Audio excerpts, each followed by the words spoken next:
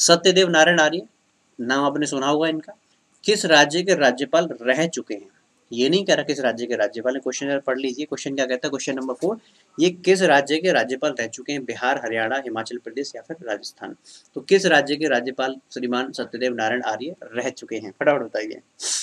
वर्तमान में बात करें इनकी तो इनका जो वर्तमान का जो राज्य है, वर्तमान में ये त्रिपुरा के राज्यपाल हैं ठीक है, लेकिन त्रिपुरा से पहले किसी और राज्य के राज्यपाल थे, वहाँ से इनका ट्रांसफ़र हो गया। त्रिपुरा के राज्यपाल होने से पहले हरियाणा के राज्यपाल थे, उसके बाद इनका ट्रांसफ़र कर दिया जो अभी वर्तमान में आप देखें, कुछ समय पहले ही नज़दीक भूतकाल में अगर आप देखेंगे तो बड़े पैमाने पर बदलाव किए गए थे। तो उसी को लेकर के हम लोगों ने सेशन रखा है।